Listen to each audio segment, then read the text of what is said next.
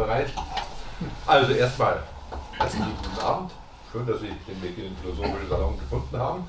Wir haben ja heute schon was Besonderes zu bieten. Denn Dr. Johann Willerichs, kein Unbekannter im Philosophischen Salon. Er war schon mal da und hat vorgetragen äh, über das Thema von seinem damaligen Buch Europa, ja, aber wie viel davon? War hochinteressant. Nein, nein, nein. nein. Wohin stolperst du? Auch wohin, stolpert Europa? Recht, das war, war wieder was anderes, ja. Das ist zu viel. Aber es ist doch das Gleiche. viele, viele von Ihnen äh, kennen ihn schon, aber für diejenigen, die ihn noch nicht so kennen, ein paar einführende Worte. Er kommt eigentlich aus der Industrie, war im Management tätig, kann man sagen, bei der Höchst AG damals, im Ausland mehrere, ja, viele Jahre, Jahrzehnte, im Bereich äh, Finanzcontrolling, Kommunikation und Informationsmanagement. Zwar auf globaler Ebene. Als sich dann die Höchst AG aufgelöst hat, wurde er selbstständig, mehr oder weniger, als Managementberater. Er äh, war dann auch Dozent an der Hochschule, immer zu diesen Themen globales ja, Finanzcontrolling, globales Management von global äh, äh, agierenden Firmen. Er ist äh, oder war Mitherausgeber der angesehenen Zeitschriftenreihe äh, für, wie hieß die schnell wieder? Führung der Wirtschaft. Äh, Schriften zur Unternehmensführung, genau, richtig. Angesehenes äh, Journal, hat dort selber veröffentlicht, nicht nur dort, es hat viele Veröffentlichungen, Vorträge äh, gehalten und hat mehrere Bücher geschrieben. Eins hatte ich schon erwähnt. Das äh, äh, zweite war über China, auch ein sehr aktuelles Thema. Oder war das erste? Ja, ist egal. Und äh, heute wird er äh, uns erzählen über die Gesichter des Islam. Ein top aktuelles Thema, äh, was eigentlich jeden bewegt und jeder äh, glaubt, da mitreden zu können, aber häufig fehlt es da an den Grundlagen. Und deswegen freue ich mich sehr, dass er uns heute auch etwas über diese Grundlagen erzählt. Das erscheint übrigens auch noch als Buch. Geschrieben ist es schon fertig, aber wird gerade noch was redigiert und gedruckt und alles, was so dazugehört. Also Sie sind heute, gehören heute zu den wenigen, die schon vorab mal etwas über diesen Inhalt erfahren und dann begeistert mitreden können. Aber jetzt lassen wir ihn selber erzählen. Danke. Ja, herzlichen Dank für diese wirklich so positive Begrüßung. Ist ja richtig verlegen dabei. Äh, meine Damen und Herren, äh, ich äh, würde vielleicht noch etwas äh, ergänzen wollen. Wieso beschäftigt sich eigentlich ein Wirtschaftler mit dem Islam? Und ich kann Ihnen auch beichten, wie das dazu gekommen ist. Da ich nun viel auf Reisen war und auch mit, mit vielen Muslimen zu tun hatte, fängt man natürlich an, darüber nachzudenken, wie, wie denken die, wie funktionieren die. Und dann äh, gab es also diese Geschichte von dem, der Islam gehört zu Deutschland. Und da habe ich mir gesagt, so jetzt fange ich doch mal an, den Koran zu lesen. Und äh, wenn Sie viel Zeit haben und viele freie Abende, dann lesen Sie den Koran und dann werden Sie hinterher sagen, lasst mich in Ruhe oder es ist ein tolles Buch. Ähm, ich werde begründen, warum das so schwierig mit dem Koran ist. Und dann hat sich daraus, weil meine Bücher sind im Grunde immer Vorlesungen über ein äh, Thema in notwendiger Breite, und dann bin ich angefangen, darüber zu schreiben. Und das äh, für mich dann auch Überraschende war, bin angefangen mit dem China-Buch zu fragen, was ist eigentlich los? Innerhalb von 30 Jahren wurde China eine Weltmacht. Dann, was hat Europa inzwischen alles verkehrt gemacht? Und ein Buch ging ja über Euroland und eins über das Thema, wohin stolpert Europa. Und dann, wie gesagt, kam ich auf dieses Islam-Thema und es ist eine tolle Klammer, wenn man das also gegeneinander hält. Und vor allen Dingen, man sieht dabei eines, vor dem politischen Hintergrund der heutigen Debatten, und es wird ja sehr viel über den Islam geredet, sind die Grundlagen des Islams kaum bekannt. Jeder redet von der Islam, der Islam, der Islam. Aber wenn man dann mal fragt, was sind das eigentlich für Bilder, die sich damit verbinden, äh, wenn wir über diese dritte Weltreligion reden wollen, dann wird das doch schon etwas mager. Denn äh, es ist ja auch immer die Frage, was können wir wissen und was müssen wir glauben. Im Grunde haben wir diesen Konflikt zwischen Wissen und Glauben. Und äh, was ich weiß, an das kann ich glauben. Und was ich nicht weiß, das muss ich glauben. Und äh, wenn wir uns dem Islam nähern, dann haben wir das gleiche Problem. Wir stehen wie gegenüber jeder Religion zwischen Wissen und Glauben. Und ich versuche es mal mit der historisch-kritischen Methode, die übrigens vom Islam gar nicht gerne gesehen wird, die aber in der europäischen Geistesgeschichte und auch Religionsgeschichte eine enorme Bedeutung hat. Also zu fragen, was ist zeitbedingt und was ist über die Zeit hinausgreifend. Damit wir in das Thema reinkommen, fange ich ganz kurz mit der vorislamischen Zeit an. Denn wir müssen sehen, in welche Zeit wurde Mohammed hineingeboren und daraus erklärt sich auch einiges. Äh, wir wissen relativ wenig über die arabische Welt des 6. Jahrhunderts nach Christi, also die Zeit vor der Ausbreitung des Islam, dafür umso mehr aus der islamischen Zeit. Und wenn wir über Zeit und Ort vor dem Islam reden, dann sprechen wir über die südarabische Halbinsel, über das heutige Saudi-Arabien. Bin ich gut zu verstehen oder muss ich lauter sprechen? Damals lebten dort nur Beduinenstämme. Im Nordwesten der arabischen Halbinsel herrschte im 6. Jahrhundert nach Christi Ostrom das berühmte Byzanz, dem wir sehr viel zu verdanken haben, mit der Metropole Konstantinopel. Damals hieß das ja noch Konstantinopel, die Gründung des Kaiser Konstantins.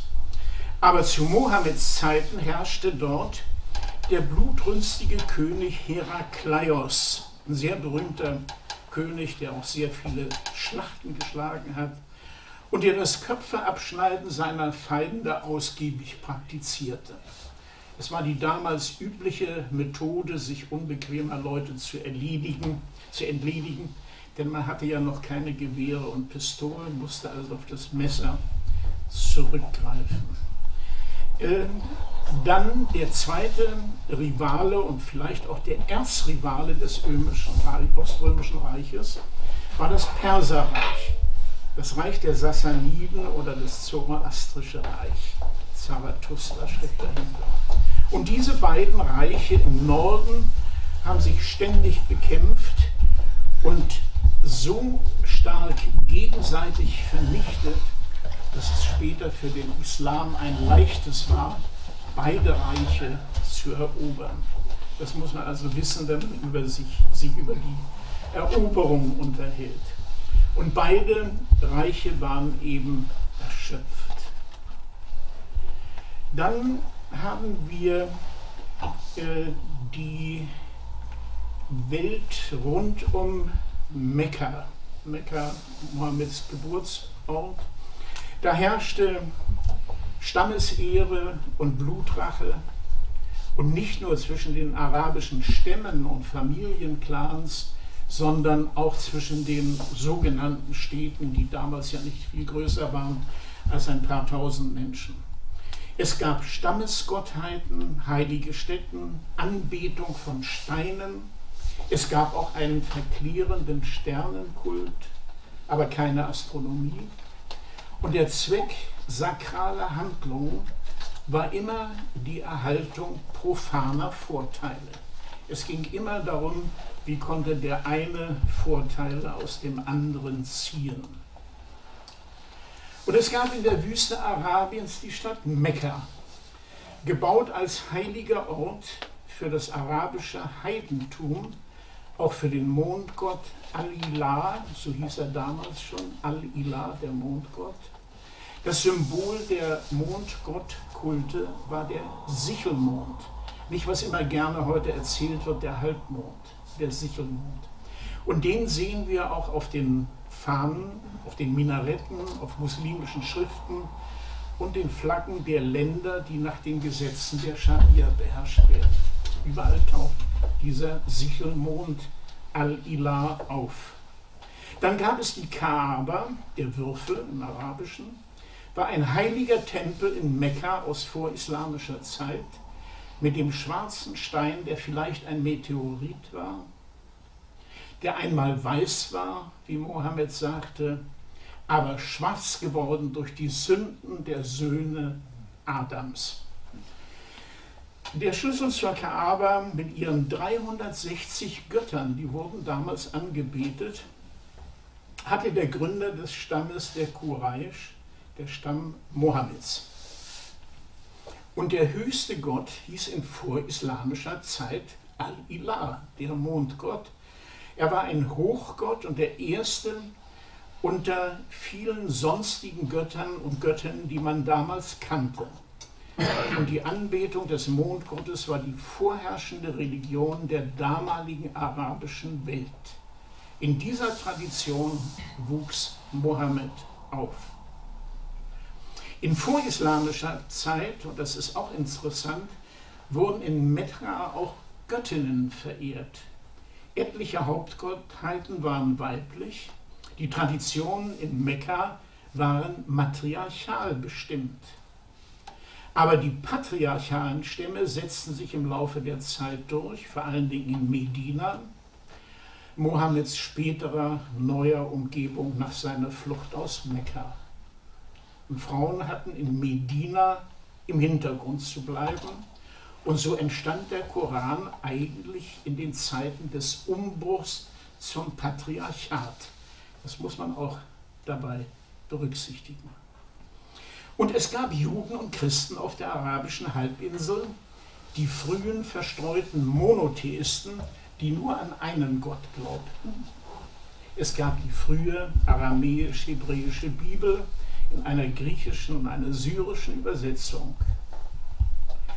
Nun haben wir vielleicht eine Vorstellung von der vorislamischen Welt. Und nun machen wir einen Sprung in die Zeit Mohammeds, in das siebte Jahrhundert, in die Zeit der Gründung dieser neuen Religion. Und da müssen wir uns fragen, was heißt Islam? In eindeutiger Übersetzung heißt Islam Unterwerfung. Unterwerfung unter Gottes im heiligen Koran niedergelegten Willen Dagegen behauptet das immer wieder vorgetragene zentrale Mantra einiger islamischer Prediger, das Wort Islam hieße Frieden. Diese Interpretation ist aber nur religionspolitisch korrekt im Sinne der politischen Korrektheit. Denn das Wort Frieden heißt im Arabischen Salam. Das Verbalsubstantiv Islam leitet sich aus dem arabischen Verb aslama ab und bedeutet sich ergeben, unterwerfen, hingeben. Der Muslim ist also der sich Unterwerfende. In zweiter Ableitung heißt dann Islam die Hingabe zu Gott. Und damit hätten wir die von offiziellen Islamvertretern oft und gerne vorgetragene Friedenslegende des Islam geklärt. Der Wille Gottes ist in den islamischen Gesetzen des Koran, Quran, arabisch der Vortrag, festgelegt. Und sie stehen unveränderbar im Koran. Der Islam ist eine Gesetzesreligion, wie übrigens auch äh, die Tora. Und die islamischen Gesetze sind im Koran bis ins Detail als Gebote und Verbote festgeschrieben. Das entspricht in etwa den beiden anderen monotheistischen Gesetzesreligionen, in der Tora mit 613 Geboten und Verboten und im Übrigen auch dem Neuen Testament der Christen, das fast 1000 Geh- und Verbote kennt und deren grundlegende Bedeutung und erklärende Konzepte Mohammed übernommen hatte. Die drei heiligen Bücher waren also für Gläubige immer auch Gesetzesbücher. So kennen auch alle drei Religionen den hebräischen Dekalog, der über allem stehenden zehn Gebote, die erste Erklärung der Menschenrechte und Menschenpflichten. Die auf zwei Tafeln in der jüdischen Bundeslade stehenden zehn Worte. Nach der Legende wurden sie Moses etwa 1300 vor Christi für die Israeliten nach dem Auszug aus Ägypten auf dem Berg Sinai von Gott übergeben. In Wahrheit sind Gottes Gebote aber wohl sehr viel älter und galten als gottgegebene Weisung, denn schon im Garten Eden gab Gott dem Adam eindeutige Gesetze und die Freiheit der Entscheidung damit auch die Möglichkeit der Übertretung. Da diese Weisungen aber göttlich waren, waren sie für Könige wie für Bettler in gleicher Weise bindend. Damit wurde der Mensch dem göttlichen Willen unterworfen. So konnte auch Mohammed die Unterwerfung der Muslime unter Gottes Willen zur Legitimation seiner neuen Religion im Koran durchkonstruieren. Nach islamischer Auslegung gehen die zehn Gebote auf den Vater der drei Religionen, auf den noch älteren Abraham um etwa 1900 vor Christi zurück. Denn nur mit dem auch vom Islam für die Religion beanspruchten Urvater Abraham konnte Mohammed die Gebote des Alten Testaments in das islamische Sittengesetz übernehmen. Da der Islam sich von Ismael, dem in der Wüste ausgesetzten unehelichen Sohn Abrahams, ableitet, greift der Islam zu seiner Rechtfertigung weit in die biblische Geschichte zurück. Denn die Geschichte Abrahams steht in der Bibel schon gleich nach der Geschichte von Kain und Abel und der darauf folgenden Erzählung über die Arche des Noah. Von Adam bis Abraham und weiter bis Mose hatten alle Menschen gesündigt. Und deshalb lobt Gott den Abraham in der Genesis, ersten Buch. Abraham gehorchte meiner Stimme und beachtete meine Vorschriften, meine Gebote und meine Gesetze. Das war das Diktum für Mohammed. Im Koran sind die zehn Gebote verstreut.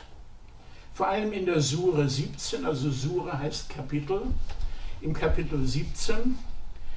Äh, das liegt an der Struktur des Koran als einer Sammlung von zeitlich unterschiedlichen Einzeloffenbarungen Mohammeds. Darauf komme ich noch zurück. Die Sure 17 wird die Nachtfahrt aber auch die Kinder Israel genannt. Im Koran ist immer ein Titel, der ein Bild bringt. Also wie gesagt, die Nachtfahrt oder die Kinder Israel.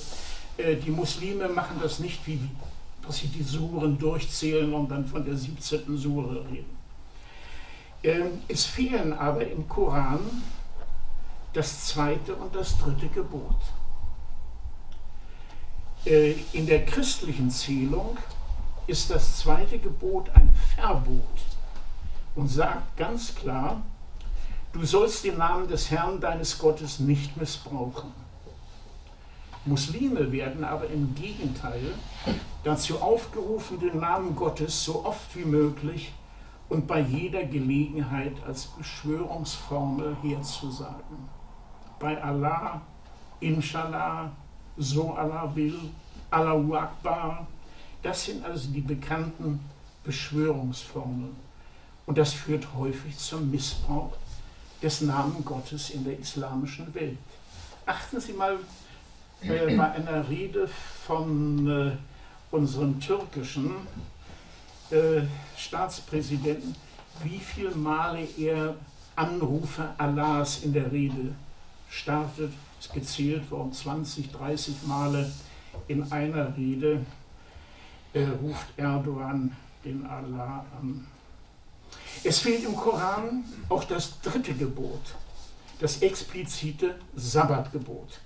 Du sollst den Feiertag heiligen. Deshalb haben Muslime auch keinen Ruhetag. Herausgehoben ist im Koran nur das gemeinsame Freitagsgebet. Und es heißt in der Sure 17, dann eilt zum Gedenken Gottes und lasst das Kaufgeschäft ruhen. Da merken wir schon was. Und lasst das Kaufgeschäft ruhen.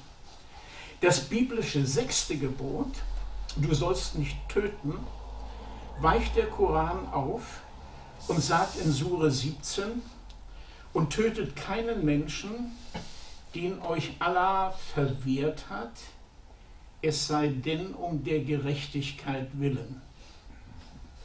Der Koran schränkt also das Recht auf Leben ein und knüpft es an Bedingungen vorliegender Berechtigung.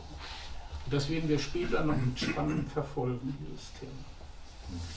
Der Islam kennt keine Trennung von Religion und Staat. Die Religion ersetzt auch den noch unbekannten Staat oder muss ihn ersetzen. Denn daher gründet sich die Idee eines Staates im Islam immer auf den Begriff Gottesstaat. Also ohne Gott geht gar nichts. Und nur der Gottesstaat steht im Einklang mit der Religion des Islam. Zur Erklärung, für die Herrschaft in damaliger Zeit hatte man Könige, Stammesfürsten, Familienclans, man brauchte keinen Staat.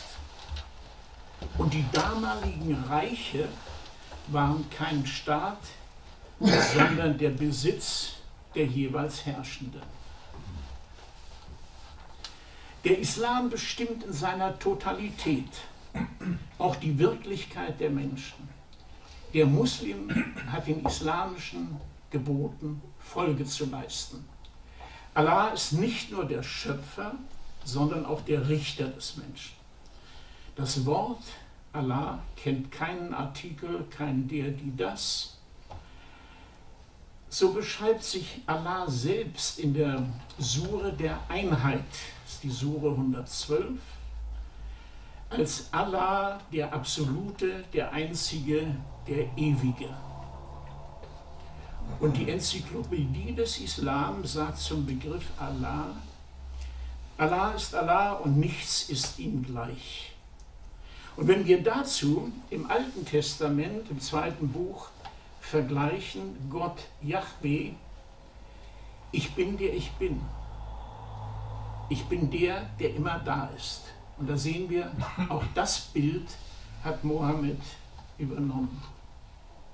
Es ist die Absolutheit des Gottesbildes im Gegensatz zu den unzähligen, mehr oder weniger definierten Götzenbilder der Frühzeit. Das war das Neue. Mohammed lebte in dieser Vielgötterei und hat im Grunde, und ich sage auch gleich, warum das so ist, sich dann auf die alten Bilder der Juden und Christen gestützt. Du sollst dir kein Bildnis machen. Exodus 20. Und wir sehen, das biblische Bilderverbot wird auch vom Islam übernommen. Es bezog sich aber nur auf Bilder von Gott, nicht auf Bilder von Menschen. Aber wer von Ihnen die Moscheen kennt und auch die Schönheit dieser Architekturen bewundert, wird praktisch nirgendwo menschliche Abbilder finden, sondern nur die Abstraktion. Dann gilt ein ähnliches Bild für die Endzeit, für das jüngste Gericht. Und das jüngste Gericht übernimmt der Islam aus den Evangelien, dem Neuen Testament. Dort ist der von Gott berufene Richter Jesus Christus nach Timotheus, Apostelgeschichte und Offenbarung. Es ist die eschatologische, die endzeitliche Vorstellung von einem das Weltgeschehen abschließenden göttlichen Gericht, als das Gericht über alle Lebenden und Toten. Das gleiche Bild taucht dann bei Mohammed wieder auf. In der Tora, den fünf Büchern, gibt es kein jüngstes Gericht, wohl aber bei den Propheten. Deswegen ist auch das nicht richtig, wenn man sagt, die Juden hatten das nicht. Natürlich hatten sie das. Und zwar bei Jesaja, Ezekiel und Daniel. Da stehen die Vorstellungen des jüngsten Gerichts bereits drin. Äh, Im jüngsten Gericht des Islam, das ist die Sure 30, wird sich jeder Muslim mit seinen Taten vor Allah verantworten müssen. Im jüngsten Gericht wird jeder Muslim nach seinem Glauben und seinem Tun beurteilt werden. Denn Glauben und das rechte Tun sind Voraussetzungen für den Eingang ins Paradies. Und das Paradies, Chama, das ist ein Bild, das sich durch viele, viele Suren durchzieht. Zum rechten Tun, das ja auch zum Glauben gehört, gehören die fünf Säulen des Islam, deren Befolgung für jeden Muslim ab der Pubertät verpflichtend ist. Und die fünf Säulen führe ich Ihnen ganz kurz vor. Erste Säule, das Glaubensbekenntnis, die Shahada. Ich bezeuge, dass es keinen Gott gibt außer Allah und dass Mohammed der Gesandte Allahs ist. Glaubensbekenntnis. Das Fasten im Monat Ramadan, 30-tägiges Fasten im neunten Monat des islamischen Mondjahres und damit ändert sich auch jährlich die Fastenzeit. Fasten liegt zwischen Sonnenaufgang und Sonnenuntergang. Eine Pflicht, eine Säule des Islam.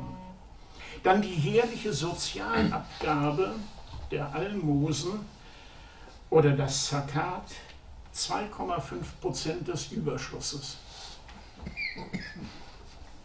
Mehr nicht. Und die vierte Säule sind die rituellen fünftäglichen Pflichtgebete. Die Gebete müssen nicht in der Moschee verrichtet werden. Es genügt, wie es im Text heißt, ein sauberes Plätzchen in Richtung Mekka.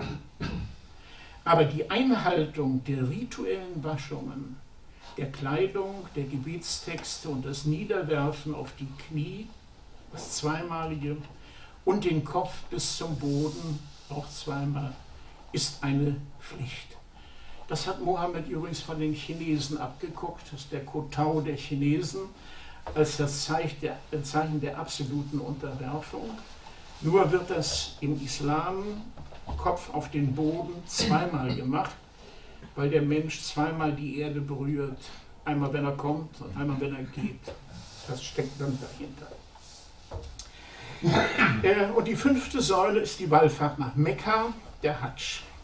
Einmal im Leben des Muslims im Pilgermonat, der dem Opferfest folgt, muss er nach Mekka, dem heiligen Geburtsort Mohammeds. Auch bei Einhaltung der Gebote der fünf Säulen des Islam bleibt die Unsicherheit, ob der Einzelne damit schon das Wohlgefallen Gottes erlangt hat und ins Paradies eingehen darf. Da aber niemand weiß, ob seine guten Taten vor Gott und beim jüngsten Gericht ausreichen, bleibt die Ungewissheit. Gott lässt sich nicht festlegen und auf die Errettung eines bestimmten Menschen am jüngsten Tag durch dessen Tun einzugehen. Gute und schlechte Taten kommen auf eine Waage in der Sure 101. Der Pochenden wird das also sehr, sehr schön alles beschrieben. Gottes Barmherzigkeit ist keine Zusage für den einzelnen Sünder. Der einzig sichere Weg ins Paradies führt über den Märtyrertod. Im Dschihad dem heiligen Krieg, dem kämpferischen Einsatz für Allah und den Islam. Kommt uns sehr modern vor. Wer im Kampf für den Glauben stirbt, dem sagt der Koran den unmittelbaren Zugang zum Paradies zu. Sure 2. Und wenn ihr die Ungläubigen trifft, das war dann das totale Feindbild, dann sagt die Sure 47, dann herunter mit dem Haupt, bis ihr ein Gemetzel unter ihnen angerichtet habt. Und ebenfalls in der Sure 47 geht es dann weiter. Und einführen wird Allah sie, also die Dschihadisten, ins Paradies, das er ihnen zu wissen getan. Der Märtyrertod ist immer der Tod des Einzelnen, des Kämpfers für Allah und im Einsatz für Allah gegen die Ungläubigen. Also auch der Islam braucht einen Feind. Ohne Feind konnte man nichts anfangen. Der Märtyrer ist ein Muslim, der als Zeuge für seinen Glauben bei Ausübung seiner Religion im Krieg oder als Folge eines Anschlags getötet wird. Er geht direkt und rein ins Paradies ein. Das Martyrium ist eine Gnade, die Allah gewährt. Und erklärte Gegner aller gläubigen Muslime sind die Ungläubigen. Das Thema wird uns noch sehr beschäftigen. Nur wenige Zitate zum Kampf gegen die Ungläubigen. Kämpft gegen die, die nicht an Gott glauben und auch nicht an den jüngsten Tag und die, die nicht der Religion der Wahrheit angehören, also dem Islam, bis sie erniedrigt den Tribut aus der Hand entrichten. Das kommt später dann in den ganzen Eroberungszügen immer wieder, dieser Tribut. Sure 2, tötet sie, wo immer ihr sie antrefft. Eiserne Keulen sind für sie bestimmt. Sure 22. Es gibt im Koran über 200 ähnliche Verse. Jede Sure ist wieder in diverse Verse untergliedert, die sich mit Strafen gegen Nichtmuslime, also gegen die Ungläubigen richten. Und freundlicher zu den Ungläubigen ist nur die Sure 16 Rufet auf zum Wege deines Herrn mit Weisheit und mit schöner Predigt und streite mit ihnen auf gute Weise. Wie so etwas hineinrutscht, werde ich gleich erklären. Tendenz ist also ganz klar, es gibt sehr viele dunkle Aussagen im Koran, gewaltbetonte und nur wenige helle Suren dann müssen wir eben noch schauen auf die sogenannten Schutzbefohlen. Der Islam kennt die Rechtsfigur der Dimma. Die Dimma ist ein Schutzvertrag für Nichtmuslime, aber es ist nur eine Obhut mit Zahlungsverpflichtung. Die Dhimmi waren in islamischer Rechtstradition die Monotheisten, also die Besitzer der Schrift die Juden und die Christen und eben die Zoroastrier, also die an Zarathustra glaubten, die wurden geduldet und geschützt, nicht mehr. Aber sie waren nur Schutzbefohlene. Alle Menschen, die weder Muslime noch Dhimmi waren, wurden als Arbi, dem Kriege zugehörig bezeichnet, als Völker, mit denen sich das Haus des Islam im Krieg befand durchaus modern. Dhimmi durften keinen Turban tragen, denn der Turban ist für Araber ein Zeichen der Ehre. Und Ibn Abbas, einer der Rechtsgelehrten, schreibt, es gibt sechs Religionen. Eine, der Islam ist für den barmherzigen Gott bestimmt, die fünf anderen sind des Teufels. Und Sure 2 sagt, und verdunkelt nicht die Wahrheit mit Lug und Trug, wird ausgelegt, vermischt nicht den Islam mit dem Judentum und dem Christentum und in extenso dann getrieben und beschäftigt euch nicht im freundlichen Sinne mit Juden und Christen. Für eroberte Gebiete galt, sich unterwerfen und den Islam annehmen oder als Dhimmi den Tribut zahlen. Bei Verweigerung der Unterwerfung Tötung. Das ist der Islam. So, meine Damen und Herren, und jetzt müssen wir uns mit Mohammed beschäftigen. Mohammed gilt nach islamischer Lehre als der bedeutendste und der letzte Prophet der Geschichte, Sure 33. Seine Vorgänger, und nun wird es wieder spannend, wird auch aufgezählt, seine Vorgänger waren nach dem Koran Adam, Noah, Abraham, Jakob, Mose, Josef, Hiob, Saul, David, Salomo, Johannes der Täufer und Jesus. Jesus Christus, ein das Kommen Mohammeds ankündigender Prophet. So wird es im Koran behauptet. In der Bibel steht davon nichts. Dass Jesus Christus das Kommen des Heiligen Geistes ankündigt, wird vom Islam nicht anerkannt. Nach Johannes 15 sagt Jesus sehr klar, wenn aber der Tröster kommen wird, welchen ich euch senden werde vom Vater, der Geist der Wahrheit, das ist der Heilige Geist, der vom Vater ausgeht, der wird zeugen von mir. In christlicher Lehre ist der angekündigte Tröster also eindeutig der Heilige Geist und der Geist der Wahrheit, nicht aber Mohammed. All diese vom Islam vereinnahmten prophetischen Vorgänger Mohammeds waren nach muslimischer Lehre schon die Verkünder des Islam, die immer wieder die gleiche islamische Botschaft aussandten, nur hielten sich die Menschen nicht daran.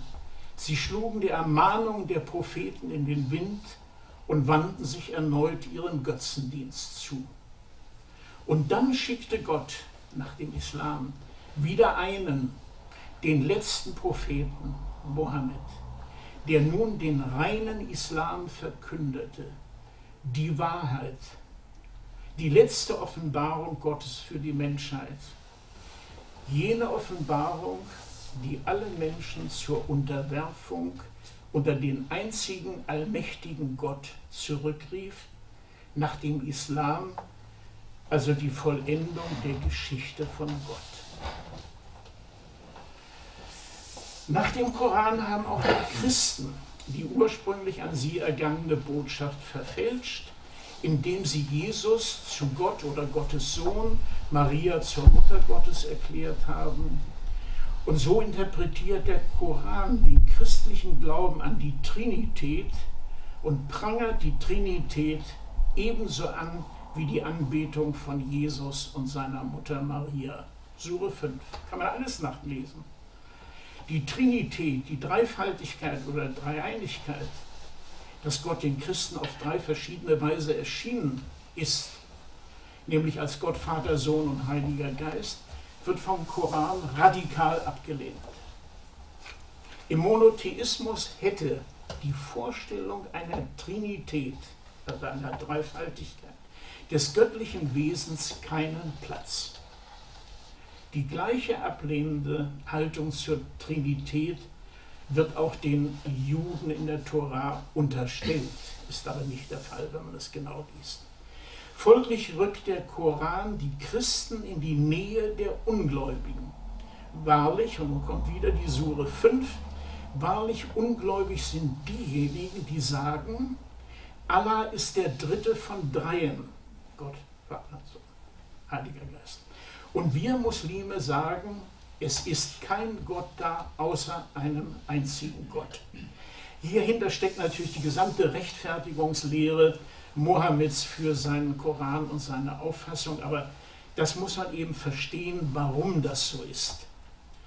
Äh, das Leben Mohammeds will ich ein bisschen kürzer behandeln, aber das ist unwahrscheinlich spannend, man weiß relativ viel darüber. Nach der islamischen Überlieferung fand die ersten Offenbarung in einer Höhle im Berg Hira nordöstlich von Mekka statt. Und diese erste Offenbarung ist die Sure 96, also nicht die Sure 1, wie wir annehmen würden, die Sure 96. Ich erkläre gleich, warum das so ist. Das geronnene Blut heißt diese Sure.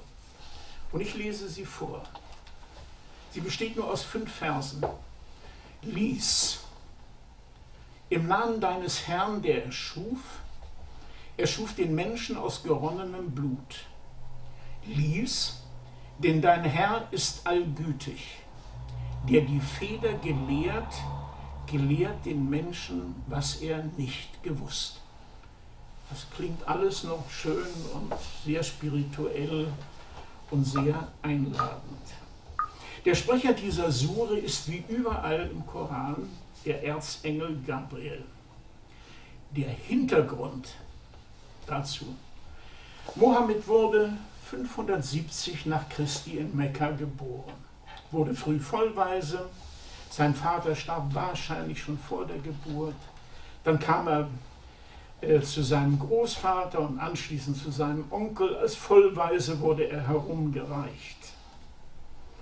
Da angenommen wird, dass Mohammed weder lesen noch schreiben konnte, glauben die Muslime, dass der Erzengel Gabriel ihm den Befehl gab, das ihm offenbarte, vorzutragen. Koran heißt Vortrag, vorzutragen, zu rezitieren. Und erst im relativ hohen Alter von 40 Jahren bekam er seine ersten Visionen. Zu Beginn seiner Lehre, die er sowohl im Geheimen als auch in der Öffentlichkeit predigte, hatten seine wichtigen Stammesvertreter der Quraysh äh, noch keinen ausgeprägten Widerstand gegen seine Lehre vom einzigen Gott, den er Allah nannte, aber nur am Anfang. Und die damaligen Stammesgenossen kannten natürlich diese monotheistische Lehre von den Juden und den Christen, die ihm ja auch bekannt waren. Mohammed hoffte zu Beginn seiner Missionstätigkeit, dass sich die Juden und Christen als Monotheisten seiner Religion anschließen würden. Das taten sie aber nicht. Und darin liegt eine der Wurzeln des späteren Hasses auf die Un- oder Andersgläubigen, der dann besonders in den medinischen Suren zum Ausdruck kommt. Zu seinem religiösen Vortrag wird in der Überlieferung weiter gesagt, nach jeder neuen Offenbarung versammelte der Prophet seine Gemeinde um sich und die neuen Verse wurden auswendig gelernt. Eine Veränderung war nicht möglich. Mohammed wachte darüber, dass jede neue Offenbarung von 20 verantwortlichen Schreibern dort eingeführt wurde, wo Allah es ihm über den Engel Gabriel aufgetragen hatte. Der Prophet wurde also aufgefordert, die niedergeschriebenen Texte zu rezitieren. Nur er konnte sie nicht schreiben. Entsprechend dem Fortschritt der Offenbarung hätte der Koran also wie eine lose Blattsammlung existiert, die erst nach dem Tod Mohammeds in Buchform zusammengefasst wurde, was dann auch geschah. Der Götzenglaube unter den Beduinenstämmen Arabiens war im 6. Jahrhundert der Glaube an diverse Gottheiten, die man durch Tieropfer gnädig stimmen musste. Und wenn man sich dann noch die Gesellschaft Mohammeds anguckt, die bestand aus Händlern, Handwerkern, Räubern, Berufskriegern, Kamelzüchtern, Karawanenführern, Seeherren, Scharlatanen, Schamanen und Ziegenhirten. Das bildete das berufliche Umfeld der frühen Araber. Juden, Christen, Aramäer und Jesiden verkündeten die unterschiedlichsten Glaubenslehren im Kern aber monotheistische Religionsbilder. Und das war in etwa die kleine Welt, in, der, in die Mohammed hineingeboren wurde. Ein flimmerndes, irritierendes, wirres durch, mit und gegeneinander unterschiedlichster religiöser Vorstellungen. Keine friedliche Welt. Mit 25 Jahren heiratete Mohammed die etwa 15 Jahre ältere Kaufmannswitwe aus Mekka, Hadisha. Hadisha war die Erbin einer Karawanserei und machte Mohammed zum Teilhaber ihrer Handelsgeschäfte. Mohammed führte in ihrem Auftrag Karawanen nach Syrien, nach Damaskus und erlebte dort natürlich die Christenheit. Kadisha brachte nicht nur viel Geld mit, sondern sie wurde Mohammeds erste Anhängerin. Sie bestärkte ihn auch darin, dass seine Eindrücke und Botschaften, die er im Alter von etwa 40 Jahren in der Höhle Hira bei seinen Meditationen erhielt, nicht die Zeichen von Besessenheit waren. wie Mohammed übrigens selbst annahm, sondern dass es die Botschaften von Gott wären. Nach seinen ersten Offenbarungen sei sie zu ihrem Cousin Baraka, einem mit den heiligen Schriften vertrauten Christen, gelaufen, der ihr bestätigte, dass Mohammed der erwartete Prophet seines Volkes sei. So berichten es die Hadithen. Auf die Hadithen komme ich später zurück. Das ist die Tradition. Und seine Frau Hadisha interpretierte die gehörten Stimmen auch als Mahnungen zur Umkehr und als Warnungen vor dem jüngsten Gericht. Hadisha war also an der Religionsstiftung des Islam maßgeblich beteiligt. Und nun wird es natürlich spannend, denn Mohammed war mit der Einsicht in seine Besessenheit durchaus auf dem Wege der Erkenntnis. Nur wusste man das damals noch nicht. Die moderne Medizin kennt das Krankheitsbild des Stimmenhörens als psychotische Symptome eines durch übermäßigen Dopaminausschüttung extrem aktiven Hirnstoffwechsels. Die Stimmen selbst sind reale Projektionen erlebter Kommunikation. Fantasien, Allegorien, Visionen und Realitäten mischen sich zu einem Bild gehörter Stimmen im Hirn des Psychopathen. So wird uns auch klar, wer der Erzengel Gabriel war. Später, so der Koran und die Überlieferung, erhielt Mohammed die Gewissheit, dass es dann doch der Erzengel Gabriel war, der zu ihm gesprochen und ihn aufgefordert habe, als Prophet seinem Volk die Offenbarungen Gottes vorzutragen. Mohammed wandte sich mit der Botschaft des einzigen allmächtigen Gottes, des Schöpfers der Himmel und der Erde, etwa ab 610, also erst sehr viel später, an seine Stammesgenossen, die Quraysh in Mekka. Bis 622 gewann er aber nur wenige Anhänger in seiner Heimatstadt Mekka. Er erntete Spott, Ablehnung, Verfolgung und offene Feindschaft, denn er trat zu aggressiv gegen den Götzenkult in seiner Heimatstadt auf und verdarb seinen Stammesgenossen das Geschäft, denn die lebten von den Pilgern,